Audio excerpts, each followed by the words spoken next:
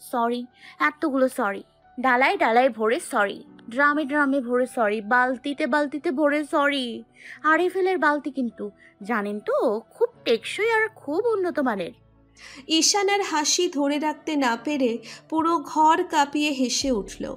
দুহাতে আরুর কোমর জড়িয়ে ধরে তাকে বুকের মাঝে চেপে ধরে বড় করে একটা দীর্ঘ নিঃশ্বাস ছেড়ে বলল ইটস ওকে আরু প্রশান্তি নিয়ে পড়ল যাক বাবা অভিমান ভাঙলো তবে। ঈশান আরুর ঘাড়ে মুখ গুজে পড়ল হুম। তো এখন বলুন মায়াবতী আমি তোমায় খুব ভালোবাসি। না আমি মায়াবতীকে মোটেই ভালোবাসি না। বলুন না ভালোবাসি। না ভালোবাসি না। হ্যাঁ কান্না করে দিব কিন্তু। দাও। কি? আমি কান্না করলে আপনি খুশি হবেন বুঝি? হুম খুব খুশি হব। ঈশানের কথা শুনে আরু তাকে ধাক্কা দিয়ে দূরে সরিয়ে দিয়ে বলল জান ভালোবাসি বলতে হবে না। আমার তো ঠেকা পড়েনি যে আমি আপনার মতো এমন একটা পচা ছেলের জন্য কাঁদবো। ঈশান অবাক হওয়ার চেষ্টা করে বলল কি আমি পচা ছেলে? আমার জন্য কাঁদবে তাতে তোমার ঠেকা পড়তে হবে? যে আমায় ভালোবাসে না তার জন্য আমি খামোখা কাঁদতে যাব কেন শুনি? কাঁদবে কাঁদবে তুমি? না কাঁদবো না।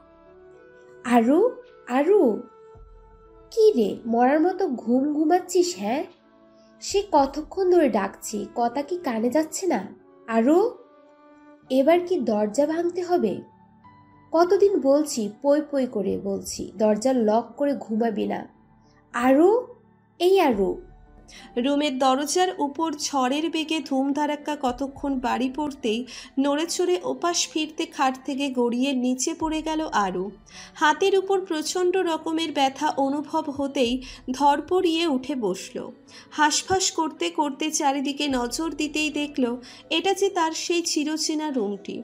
কিন্তু সে তো এই এক্ষুনি ঈশানের রুমে তার সাথে তারই বারান্দায় ছিল। আহা, কত সুন্দর রোম্যান্স চলছিল। এত সুন্দর রোমান্টিক মোমেন্টের মাঝে ভিলেন হয়ে তার মায়ের গলাটা আর একবার কানে বাজতেই খ্যাপা চোখে তাকালো বন্ধ দরজাটার দিকে। যে হারে বাড়ি দিচ্ছে, মনে হচ্ছে যেন এই এক্ষুনি সব ভেঙে চুরে ঢুকে এসে দিল গালের উপর এক রাম চর বসিয়ে। এই মা জননীর জন্যে যে কোনো কালেই একটু সুখের ঘুম কপালে জোটেনি। আজও ছুটবে বলে কি করে আশা করা যায়? খাটের পাশ ধরে ঘুম চড়ানো কণ্ঠেই উত্তর দিল, মা তোমায় কতবার বলেছি দরজা এমন জোরে জোরে বাড়ি মারার আগে সঙ্গে করে একজন রাজমিস্ত্রি রাখবে। তুমি যে হারে ঢোল পেটাচ্ছ, দরজার উপর সেটা যে কোনো সময় দেখা যাবে ভেঙে গুড়িয়ে ঠোস করে সব গুঁড়ো পাউডারে পরিণত হয়ে গেছে। বন্ধ ঘরের মধ্য দিয়ে মেয়ের গলা পেয়েই নাইমা বেগম মেয়ের ঘুম ভেঙেছে মনে হতে চলেই গেলেন। আর এদিকে ভেতর থেকে আরও মায়ের আর কোনো সারা শব্দ না পেয়ে মা শান্ত হয়ে ফিরে গেছেন মনে হতেই স্বস্তির নিঃশ্বাস ফেলল। মাথাটা পুরো হ্যাং হয়ে আছে তার। এটা কেমন স্বপ্ন ছিল? আমার বাবা মারা গেছে, তারপর ঈশান ভাইয়ার একটা বোনও আছে। নাবিলা, লিনা, আপুর বোন। আবার লিনা, আপুর, আবার লিনা আপুর একটা ভাইও আছে। ও খোদা, এ কেমন স্বপ্ন দেখাইলা তুমি আমারে? আর লিনা আপুর বিয়েতে গিয়ে ঈশান ভাইয়া ছি এও কি দেখার ছিল? লিনা আপুর ভাই, আলিফায়ার আবার গার্লফ্রেন্ড তার আবার এত বড় লাইফ স্টোরি আর তার বাচ্চা নিধির যাক, নামটা তো বেশ। ওই বেটা এশার ভাই, শাফিনের বাচ্চা কাচ্চা আমার সাথে এসব কি করতে চেয়েছিল? কুত্তা ছাড়া আমার গলায় পেটে নখের আঁচড় বসিয়ে দিয়েছে। বেটাই তো দেখি আমার স্বপ্নেরও আমায় ডিস্টার্ব করার বদ বুদ্ধি ছাড়েনি। আর ওটা কি ছিল? কণা আর পিয়াস ভাই আর এমন ঝগড়া ভাবা যায়? ওরা তো এমনি বয়ফ্রেন্ড গার্লফ্রেন্ড আর সবচেয়ে বড় কথা হলো, আমি আর ঈশান ভাইয়া হাজবেন্ড ওয়াইফ কেমনে কি? যে ব্যাটা আমার সাথে দুই মিনিট ঠিক করে কথা কয় না, আমি নাকি তার বউ। লাইক সিরিয়াসলি আবার বাচ্চা কাচ্চার প্ল্যানিংও হচ্ছিল? ও খোদা, এ তুমি কি স্বপ্ন দেখাইলা? মাথায় তো দেখি কাজ করাই বন্ধ করে দিছে। সব ঠিক থাকলেও এটা মোটেই ঠিক ছিল না যে আমার বাবা নেই। আমার জলও জানতো বাপটার স্বপ্নের মধ্যে ভ্যানিশ ছিল। কোনো মানে হয় হ্যাঁ? এখন থেকে মায়ের কথা মতো দোয়া দরুদ পড়ে ভদ্র মেয়ে হয়ে নামাজ কালাম করতে হবে। আর নয়তো আমার রক্ষে নেই গো, রক্ষে নেই। বকবক করতে করতেই উঠে গেল আরও ওয়াশরুম থেকে ফ্রেশ হয়ে ভার্সিটির জন্য একদম রেডি হয়েই নিচে নামল সে। তার বাবা নিজাম সাহেব টিভির সামনে বসেই খবরের কাগজ পড়ছিলেন। এটা তার একটা বদ অভ্যেস। একদিকে টিভি ছেড়ে অন্যদিকে খবরের কাগজ পড়া। আরও বাবাকে দেখতেই মুখে হাসির রেখা টেনে দৌড়ে এসে বাবাকে চড়িয়ে ধরে কতক্ষণ চোখ বুজে রইল। নিজাম সাহেব মেয়েকে হঠাৎ চড়িয়ে ধরতে দেখে নাকের ডগার চশমাটা একটু পিছনে ঠেলে এক হাতে চড়িয়ে ধরে পড়ল। গুড মর্নিং মা। আরও চোখ খুলে বাবার গালে চুমু খেয়ে পড়ল গুড মর্নিং ডাড্ডু মেয়ের মুখে ডাড্ডু শুনে নিজাম সাহেব খবরের কাগজ পাশে রেখে হতাশ চোখে তাকালেন। গম্ভীর মুখে বললেন, তোমায় আমি এখনও ঠিক করতে পারলাম না। সব সময় বলি, আমায় এসব উদ্ভট নামে ডাকবে না। বাবা ডাকো, আর নয়তো আব্বু ডাকো। কিন্তু না, তুমি তো এক নাম্বার জেদি। তোমার মুখ থেকেই আমায় এসব উদ্ভট নাম শুনেই জীবন পার করে দিতে হবে। কখনো ডাড্ডু কখনো হাড্ডু? বলি এসব তোমায় কে শেখায় হ্যাঁ? বাবার কথা শুনে আরও ফিক করে হেসে দিয়ে বলল তোমার গার্লফ্রেন্ড শেখায়। নিজাম সাহেব ভ্যাবা চাকা খেয়ে তাকালেন পুনরায় গাম্ভীর্যতা টেনে বললেন আমার গার্লফ্রেন্ড মানে? মানে তোমার বউ। এই বলেই বাবার আর এক কালে চুমু খেয়ে দৌড়ে সোজা বাসা থেকেই বের হয়ে গেল আরও। মেয়েকে না খেয়ে এভাবে বের হয়ে যেতে দেখে নিজাম সাহেব গলা ছেড়ে ডেকে উঠলেন। কিন্তু আরুর আর কোনো খবর নেই। নিজাম সাহেবের গলা পেয়ে নাইমা বেগম হন্তদন্ত হয়ে বের হয়ে এলেন রান্নাঘর থেকে। স্বামীর সামনে এসে ব্যস্ত ভঙ্গিতে বললেন, কি হয়েছে? চেঁচাচ্ছ কেন এমন করে? নিজাম সাহেব অপরাধী গলায় বললেন তোমার মেয়ে না খেয়ে ভেগেছে? স্বামীর মুখে এমন কথা শুনে নাইমা বেগমের কোনো হেলদোল দেখা গেল না। ব্যাপারটা খুব স্বাভাবিক জেনেই আবারও বড় বড় ধাপ ফেলে এগিয়ে গেলেন রান্নাঘরের দিকে। নিজাম সাহেব বোকার ন্যায় কতক্ষণ বউয়ের যাওয়ার পানে তাকিয়ে থেকে বলে উঠলেন তুমি কিছু বলবে না? নাইমা বেগম তরকারিতে খুন্তি নেড়ে ভাবলেশীনভাবে বললেন নতুন কোনো খবর থাকলে তা বলো। নিজাম সাহেব বোকা গলায় বললেন অ্যাঁ? হ্যাঁ তোমার মেয়ে তো রোজ রোজ না খেয়ে যাওয়া নিত্যদের দিনে ধর্মীয় কাজে পরিণত হ- হয়েছে। ওর বাসা থেকে খেয়ে বের হলে ধর্মের ব্যাঘাত ঘটবে না। লোকে লোকে কানাঘুষা হবে না। আজ আরও খেয়ে বের হয়েছে ভাবা যায়। এমনকি বাইরে তৃতীয় বিশ্বযুদ্ধ শুরু হয়ে যেতে পারে। বউয়ের কথাই বেচারা নিজাম সাহেব কোনো প্রতি উত্তর দিতে না পেরেই মুখে গাম্ভীর্য ভাব টেনে আর একবার দরজার দিকে দৃষ্টিপাত করল। মেয়েটা যদি ভুল করে আর একবার ফিরে এসে খেয়ে যেত। রাস্তার পাশে দাঁড়িয়ে ডাল ভাজা খাচ্ছে আর চাতক পাখির মতো চোখ দুটো ঘুরিয়ে ঘুরিয়ে রিক্সার টিকি খুঁজে পাওয়ার চেষ্টা করছে আরও কিন্তু কোথায় কি? দূর দূরান্ত, বহুদূর পর্যন্ত রিক্সার একটা চুল অবধি দেখা যাচ্ছে না। হঠাৎ নিজের এমন ভাবনায় নিজেই বিরক্ত হয়ে মনে মনে ভাবল, হাউ কফিট ইউ আর আরু? রিক্সার আবার চুল হয় নাকি? যাকে যাক, এখান থেকে পায়ে হেঁটেই কিছু পথ এগোতে হবে মনে হচ্ছে। সামনেই তো রিক্সা স্ট্যান্ড। যেমন ভাবা তেমন কাজ, কোনো রিক্সার হদিশ না পেয়েই ডাল ভাজা চিবোতে চিবোতে এগিয়ে গেল কিছু পথ। সামনে থেকেই দু তিনখানা রিক্সা চোখে পড়তেই একটা স্বস্তির নিঃশ্বাস ফেলে নাচতে নাচতে এগিয়ে গেল সেদিকে।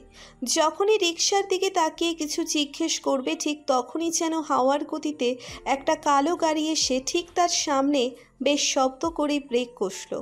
বেচারি হঠাৎ কি থেকে কি হয়ে গেল বুঝতে না পেরে কিছুক্ষণের জন্য যেন নিজের জায়গায় থম মেরে গেল। হঠাৎ গাড়ির দরজা খুলে বের হয়ে এলো একটি ছেলে। অপরাধী গলায় বারবার সরি বলতে বলতে আরুর কোথাও লাগল কিনা জিজ্ঞেস করল। আচমকা কোথা থেকে বকের মতো লম্বা গলাটা উঁচিয়ে এই গাড়ি আর তার মালিক টপকালো ভাবতেই মেজাজটা তুঙ্গে উঠে গেল তার। চোখ মুখ কুচকে নিয়ে দিল এক ঝাড়। ঝাড় দিয়ে বলল, বেটা, চোখে দেখোস না? চোখ দুটো কি তাল গাছে মাথায় তুলে রেখে এসছিস? নাকি মাছ খেতে গিয়ে ধান গাছের গোড়ায় পুঁতে রেখে এসছিস। আরুর এমন কথা শুনে ছেলেটা শটান হয়ে দাঁড়িয়ে গেল। তার মাথায় কেবল একটা কথাই ঘুরপাক খেতে লাগল। আজ অফিসের প্রথম দিনে এমন পাগলের সাথে অ্যাক্সিডেন্ট করে বসল। ছেলেটাকে কিছু বলতে না দেখে আরও নিজের রাগটাকে আরেকটু বাড়িয়ে তুলে মুখ উঁচিয়ে তার দিকে তাকাতেই যেন ভূত দেখার মতো চমকে উঠল। দুপা পিছিয়ে গিয়ে নিজেই নিজের মুখ চেপে ধরে অবাকের শীর্ষে পৌঁছে যেন হাতছানি দিতে লাগল। আরুকে এভাবে চমকাতে দেখে ছেলেটাও চমকে উঠল। আমতা আমতা করে বলল কি- কি হলো? আরুর চোখ দুটো আলোর শেপের আকার নিয়ে বলল আ- আলিফ ভাই? আরুর কথা শুনে ছেলেটা ভ্যাবাচাকা খেয়ে তাকালো। ডান হাত তুলে মাথা চুলকে কিছু একটা বিড়বিড় করে বলে উঠল আপনি আমার চিনেন? আই মিন আগে কখনো আমাদের দেখা হয়েছে? আরও চোখ পিটপিট করে কতক্ষণ নাগাদ ভাবনার জগৎ থেকে ঘুরে এসে বলল আগে না তো? ছেলেটা অবাক হওয়ার চেষ্টা করে বলল তাহলে কি করে চিনলেন? আমার নাম কি করে জানলেন?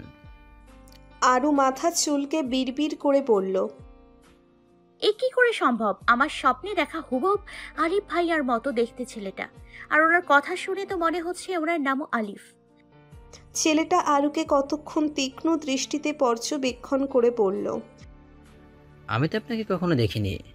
আরও জোরপূর্বক হেসে কি বলবে না বলবে ভাবতে ভাবতেই হঠাৎ রাগী গলায় বলে উঠল নেক্সট টাইম যদি আবারও দেখি না গাড়ি চালাতে গিয়ে কারোর গায়ের উপর উঠে এসছেন তখন একদম গাড়ির টায়ার খুলে বুড়িগঙ্গার পচা পানিতে ফেলে দিয়ে আসব বলে দিলাম। হ্যাঁ? হ্যাঁ আর সাথে করে আপনাকেও। একটুকু বলেই আরও তার সামনের রিক্সাটাই উঠে বসল।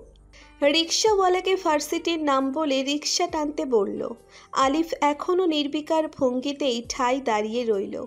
মেয়েটা কি তবে সত্যিই পাগল? কি কি বলে হঠাৎ কী সব বলে গেল। রিক্সা চলছে ফার্সিটির উদ্দেশ্যে। আরও রিক্সাওয়ালাকে কতক্ষণ পর্যবেক্ষণ করে খানিক উদ্ভট ভঙ্গিতে বলল মামা বিয়ে করেছ? আরুর কথা শুনে রিক্সাওয়ালা ঘাটটা হালকা বাঁকিয়ে বলল হ আফা দুই মাস হইলেও বিয়া করছি। আরও দাঁত কেলিয়ে হেসে বলল বউটা একদম নতুন। হ আফা। তা তোমার রোজ ইনকাম কত হয়? মানে মাস শেষে বউকে নিয়ে আরামসে জিন্দগি চলে যায়? এরকম নাকি টানা পড়েন আছে? রিক্সাওয়ালা মাথা চুলকে বলল আফা গরিবের আবার আরামের জীবন কাটানোর জো আছে কন? হুম বটে। তা তুমি কি রোজ এখানেই বসো? হ আফা এই স্টানেই থাকি। গুড। তো বের হও এখন রিক্সা নিয়ে। এই মনে করেন সাতটা সাড়ে সাতটার দিক। বাহ বাহ শোনো মামা আমি এই রিক্সা সানডের দশ মিনিট আগেই থাকি। আফা আপনি নিজাম সাহেবের মেনা আরও তীক্ষ্ণ স্বরে বলল তুমি চিনো? নিজাম সাহেবকে? হ আফা চিনি ওয়াও তাহলে তো আরও জম্পেশ আচ্ছা শোনো রোজ আমি এই টাইমে ভার্সিটি যাব বুঝেছ? তুমি রোজ মনে করে ঠিক এই টাইমে আমার বাসার সামনে থাকবা। ডাড্ডুকে আই মিন বাবাকে বলে আমি তোমায় মাসে তিন হাজার টাকা দিয়ে দিব। রিক্সাওয়ালা অবাক কণ্ঠে বলল তিন হাজার। হুম তিন হাজার। শুধু ঠিক টাইমে ভার্সিটি আসবে ওকে নিয়ে আসতে হবে না কারণ ওই টাইমে বাসায় আসার কোনো তাড়া নেই। আচ্ছা আফা হুম।